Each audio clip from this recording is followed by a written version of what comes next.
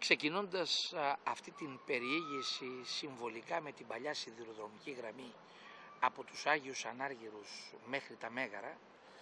και όντας αυτή τη στιγμή στους Άγιους Ανάργυρους δεν μπορώ να μην αφήσω ασχολίαστη την κατάσταση που επικρατεί για το Πάρκο Τρίτσι. Το Πάρκο Τρίτσι είναι μια περιβαλλοντική όαση σε κάποιους δήμους οι οποίοι είναι ιδιαίτερα οξυμένα τα προβλήματα της οικιστικής ανάπτυξης και αποτελείται πληθυσμιακά από στρώματα τα οποία είναι χαμηλόμιστα. Δυστυχώς το πάρκο Τρίτσι που θα μπορούσε να αποτελέσει όαση ψυχαγωγίας των κατοίκων έχει δυστυχώς αυτή τη στιγμή σοβαρότατα προβλήματα. Η αδιαφορία της κεντρικής διοίκησης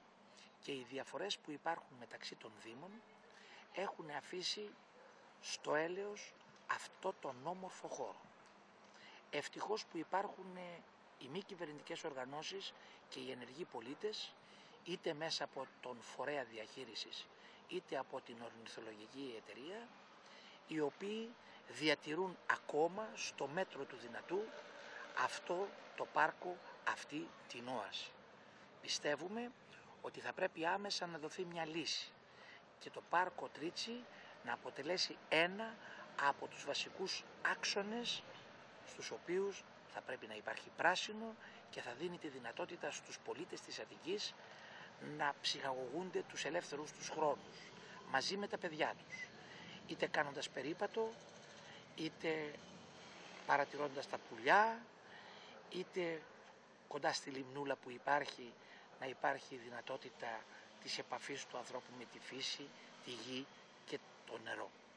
Θεωρώ ότι είναι πάρα πολύ σημαντικό αυτό το πάρκο του Τρίτσι να δοθεί, στο πάρκο του Τρίτσι να δοθεί πολύ μεγαλύτερη, ε, πολύ μεγαλύτερη θα έλεγα ε, σπουδαιότητα από αυτήν την οποία του αποδίδεται σήμερα. Πρέπει να το βοηθήσουμε ώστε να παραμείνει το πάρκο αυτό ζωντανό και να αποτελέσει την πηγή από την οποία παίρνουν περιβαλλοντικές ανάσες αυτοί οι πέντε δήμοι οι οποίοι είναι και πολλοί άνθρωποι.